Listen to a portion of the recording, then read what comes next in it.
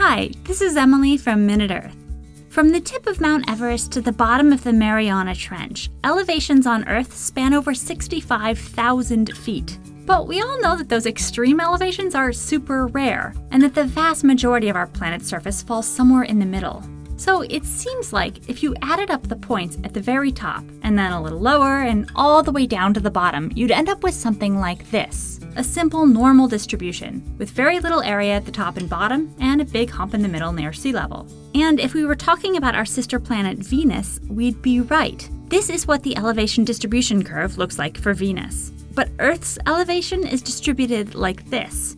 It has two humps, so very few points very high and very low, but a lot of points around sea level, and then again, a lot of points several thousand feet below.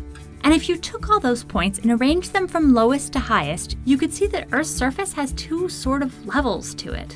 The main reason is that Earth's outer layer, the crust, is made up of two different materials.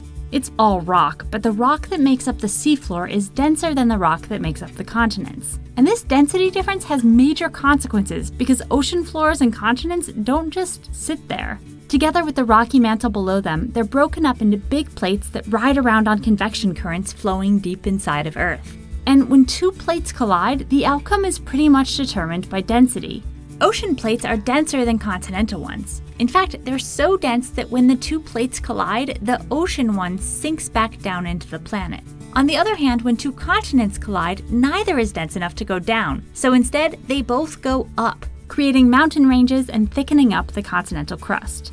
As a result, the continental crust is, on average, about four times thicker than the ocean crust. So its average elevation is much higher than the average elevation of the ocean floor, which explains this weird double humped elevation distribution curve. And actually, if our planet's surface was more like Venus's, with its so called normal distribution, only about 5% of it, an area a little smaller than Africa, would be above sea level, leaving not much space for landlubbers like us.